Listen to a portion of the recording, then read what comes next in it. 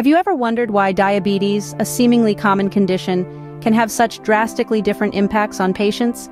It's a puzzle that continues to intrigue the medical world.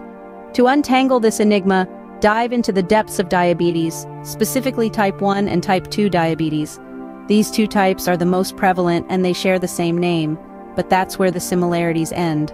Type 1 diabetes, also known as juvenile diabetes, is an autoimmune condition. This means the body's immune system mistakenly attacks and destroys the insulin-producing beta cells in the pancreas. This destruction leads to a complete absence of insulin, a hormone that's crucial for regulating blood sugar. Think of insulin as a key that opens the doors of cells, allowing glucose to enter and provide energy. Without this key, glucose builds up in the bloodstream, leading to high blood sugar levels. On the other hand, type 2 diabetes is a condition that develops over time and is often associated with lifestyle factors, such as poor diet and lack of exercise. In this case, the body still produces insulin, but the cells become resistant to it. They no longer respond effectively to the insulin key, leading to a similar buildup of glucose in the bloodstream. Despite the different underlying causes, both type 1 and type 2 diabetes result in high blood sugar levels. However, the way these conditions are managed can vary significantly.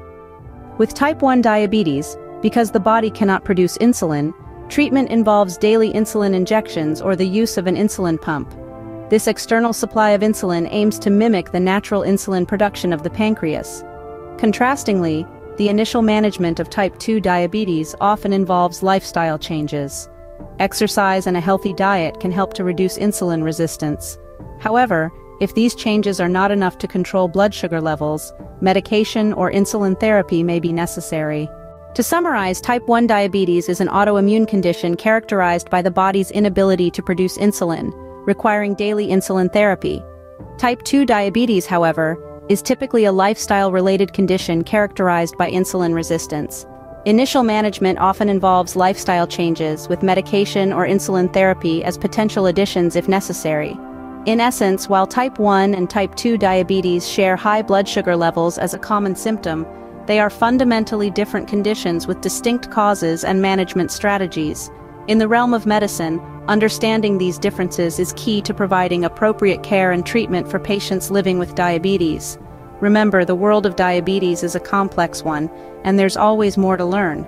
But with the right knowledge and understanding, we can make strides in managing and potentially preventing this widespread condition.